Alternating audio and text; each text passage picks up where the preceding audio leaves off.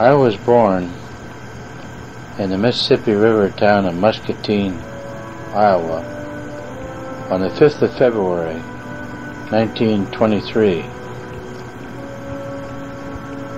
And my birthplace, to the best of my recollection, and was in the house where I spent probably my first nine or ten years, is at 220 West Fulliam Avenue, up on a high bluff which overlooked the uh, Mississippi River. And one could easily see over into Illinois from almost anywhere in my house and in the yard. People tend to think that the area they originated in is perhaps the best area in the world. And I'm no exception, and I claim to have some justification for the claim. I had a largely happy childhood. I was allowed to do almost anything I wanted to do. Fortunately, I rarely wanted to do anything bad or destructive. And why would I? My folks kept me on a loose rein with freedom to run barefoot practically all summer, wander far and wide in town and country. Now,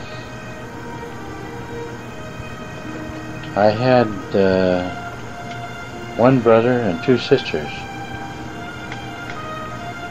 uh, born respectively 13 and 12 years before me. And therefore, uh, they were all born before the outbreak of World War I in Europe. Mother canned all sorts of things. There might be 200 fruit jars in that spacious basement of that rambling house where we lived. And so there were a lot of delicacies. My mother was very accomplished at churning our own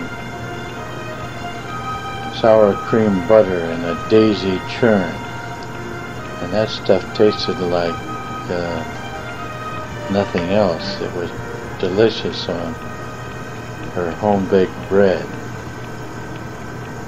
I'd like to go back to that for just an hour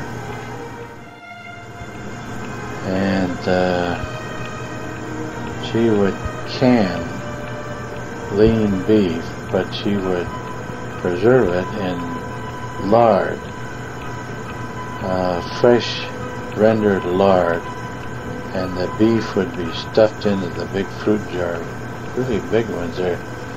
It must have been about a half a gallon, huge jars. I was up there one balmy summer I'd been out in the pasture with that tall pasture grass between my toes and without a care in the world and thinking about what mom might have for supper. I looked down toward the river, which is maybe a couple of miles away, downward and maybe maybe three or four hundred feet downward from where I stood on this Mississippi River bluff. And that part they call 220 West Fulliam Avenue. Saw a huge thing, an airship, come along, and it was going. Uh, the river runs east-west of Muscatine, and this improbable balloon, cigar-shaped thing was going westward, like as if it was heading uh, upstream on the Mississippi Penny for Davenport, maybe Clinton, maybe Minneapolis. And it turned out, I found in the Muscatine Journal the next day, it was the Graf Zeppelin. It had made it all across the Atlantic from some place like Wilhelmshaven in Germany, northwest Germany, and it could go 50, 60 miles an hour and carried passengers. And uh, captain of it was a famous guy named Hugo von Eckener, I thought that was real thrilling. Steamboats were still alive and well at the time, and one could buy passage on them to go clear down to New Orleans if he wanted to, or just to go to Davenport, Iowa for what was called an excursion. And those were wonderful days. My mother and maybe a, sister or two, we'd go down to the steamboat wharf, uh, even closer to the river than Front Street, with a picnic basket full of all sorts of goodies. And uh, 6.30 in the morning, and we'd uh, present our tickets bought earlier in the week. And this was maybe a Wednesday or a Thursday in, a, in the week. And the object was to go slowly, for that's the only speed the excursion steamer had, from Muscatine on this four or five deck behemoth of a steamboat with a snail's pace up to Davenport, Iowa. The steamboat might get underway by 7.30 in the morning and chug its way upstream against the current and by maybe 2 o'clock in the afternoon we'd covered 30 or 35 miles and tied up at the wharf at Davenport, Iowa. Then we'd all disembark, and it would often uh, mean 2,000 or 2,200 people disembarking. And then there was the joy of going shopping. About the only store name I can remember is Petersen Harn Von Maur. That was the, where my sisters and my mother headed for initially. Sometimes they never got out of there before the big whistle uh, sounded about 4 o'clock in the afternoon and everybody had to run for the steamer to get on lest they be left uh, behind and have to get on the bus to go back to Muscatine.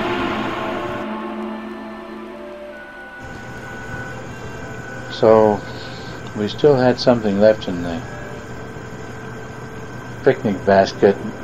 I remember deviled eggs and ham sandwiches and all sorts of things. Some days were hot, sometimes blistering hot, and there was a strange odor. It was a mixture of steam and hot oil. And I was allowed to go anywhere I wanted on that boat. They figured I wouldn't fall off the edge. The, the bottom deck only cleared the water by three or four feet. And then every 10 feet or so upward was a new deck. Uh, and the, the engine room, we were allowed to even walk through that.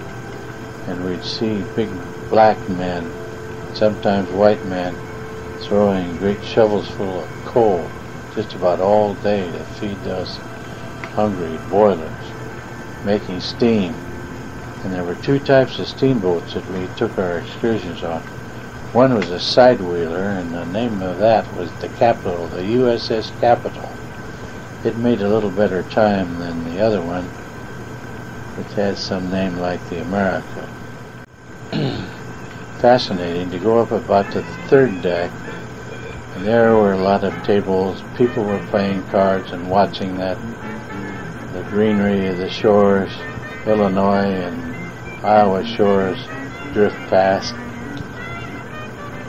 And then uh, from time to time this black band, uh, I thought I had a scant memory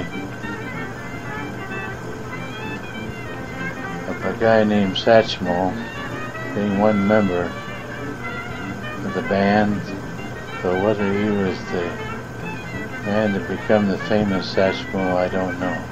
But it was a black band and they played this strange jazz and it was magic. It uh, got under your skin.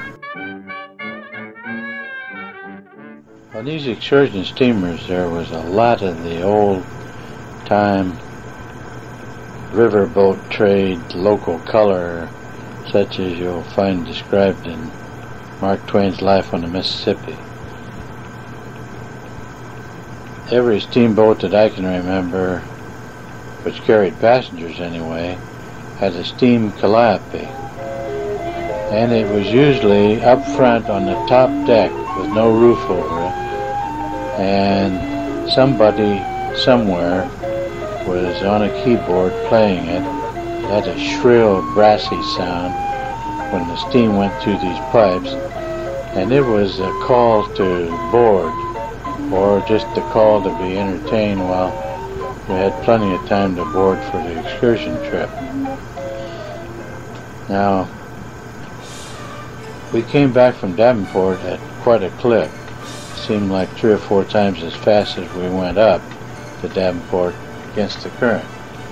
But it uh, would be getting along about uh, 7.30 or 8 o'clock in the evening before we got back and tied up at the steamboat wharf by Front Street in Muscatine, and then there'd be somebody there to pick us up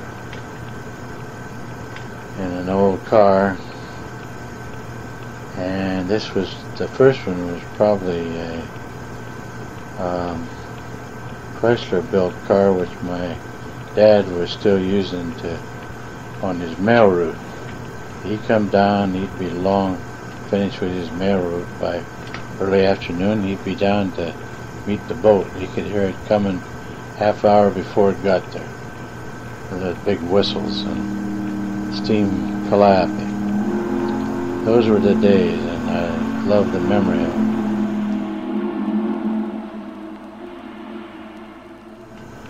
It was getting toward the depth of the depression, and farmers had very little money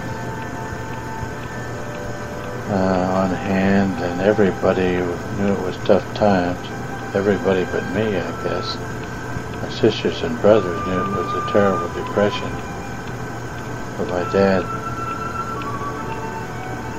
the great good fortune of a hundred dollars a month guaranteed salary as a rural mail carrier. And I often went out with him until the hierarchy of the U.S. Postal Service forbade it, went out with him to stuff the mail in the box. The greatest time of all was a day or two before Christmas. And when it came around to Christmas, uh, all those good friends of his out in the mail route, they wanted to give him something. And then it wasn't like today where we tip the paper boy with a dollar or two or five. Come up to maybe Johnny Balzer's house, the man with the glass eye, who was an outrageous jokester and played tricks on my dad, took out his glass eye to show it to me. He'd have a exquisitely cured ham, a big one, off of some big hog that must have weighed 800 pounds. I guess, hanging there for my dad to lift off with great effort and put in the back seat. And that would assure that we, we ate well indeed. No, there were eggs. There were dressed chickens. There was parched corn everything you can imagine.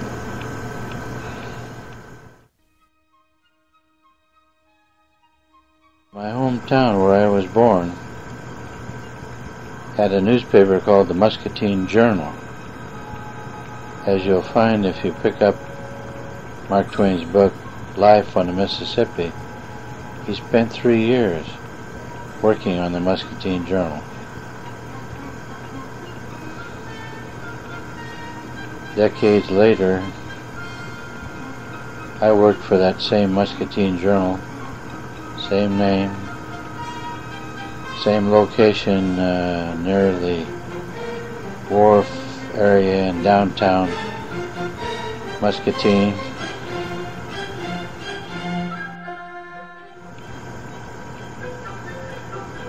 I was about 10 years old as a press boy uh, in the press room of the Muscatine Journal, and it was exciting work. The papers assembled would come rolling out of the front end of a Goss, old Goss newspaper press, and every 50th paper one would be kicked out to one side. And I would grab a armful of 50 papers and put them on a conveyor belt that went back toward the mailroom and then down a chute into the basement where numerous paper boys, paper delivery boys were waiting for them. Somewhere along the line when I was about 11 or 12, I got a job as a substitute newspaper carrier boy. And my superior was another newspaper carrier boy named John Fishburne. First began to learn the whole route uh, that John served. This was the very heart of downtown Muscatine, Iowa mainly 2nd Street, and the route started about a hundred feet from the Muscatine Journal building. And it went over to the Uptown Theater and to the across the street to the office of the sheriff and uh, chief of police, and then found its way onto two densely populated uh, blocks of 2nd Street. We'd take opposite sides of 2nd Street and throw papers left and right, more or less where they were supposed to land.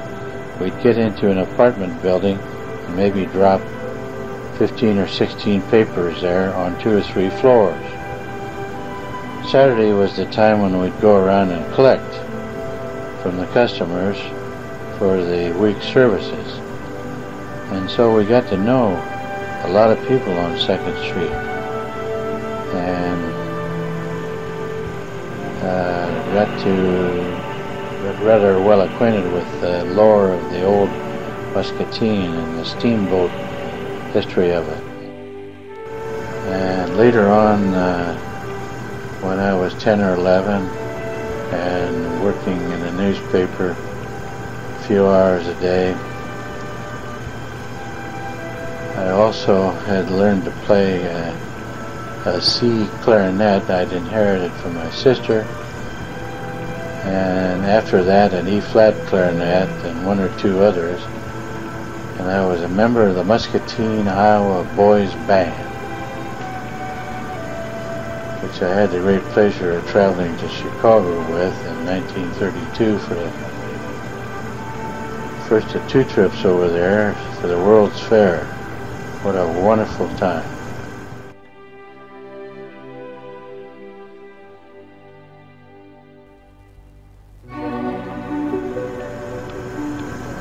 So it went and uh, I got into my teenage years and something uh, grabbed some dormant gene of mine that told me that that uh, strange and seductive sound sounding classical music was something I ought to listen to more of. And so I was barely 13 to the best of my recollection when I began to listen to more and more of that kind of stuff. What I took to early in this process was the highly lyrical stuff, especially the Tchaikovsky and the uh, Berlioz, all the romanticist composers, the stuff you could whistle uh, uh, when you were walking down the sidewalk and away from the phonograph uh, half day later. It was all magic. And it thrilled me to pieces.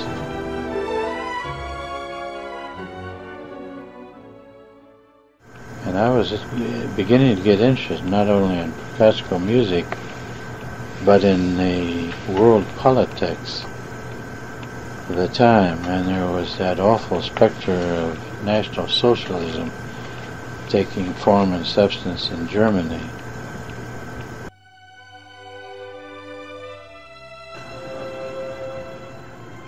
Sometime in the late 30s, uh, we moved from 220 West Fulliam Avenue to a um, house which my parents had uh, bought at uh, 312 East 9th Street. And it turned out to be directly across the street from the Muscatine, Iowa new high school building. And so